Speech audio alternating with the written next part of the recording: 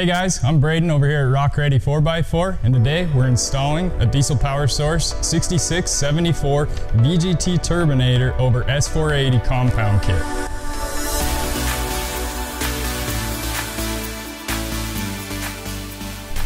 One of the best things about this kit is the way that it fits with the three-piece manifold.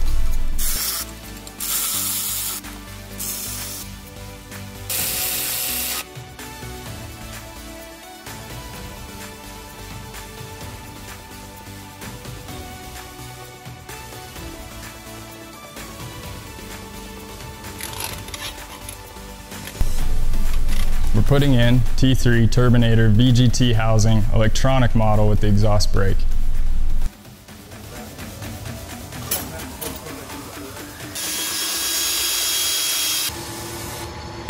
The nice thing about this custom hot pipe connecting the upper and lower turbo is the fact that it holds everything together really tight and it takes care of all the clearance issues. The S400 bolts up to the factory exhaust elbow, making it nice for angles and clearance issues around the frame. The silicone charge tube connecting the low sides of the turbos makes for a very easy install.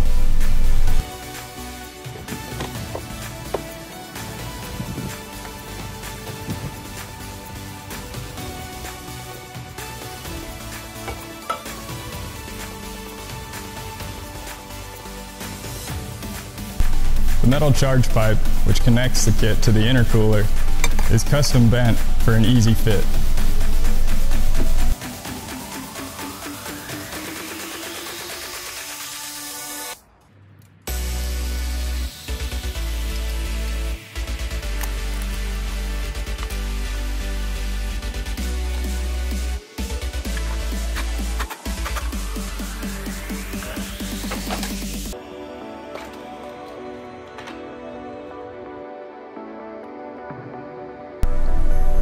We're putting in T3 Turbonator VGT housing electronic model with the exhaust brake.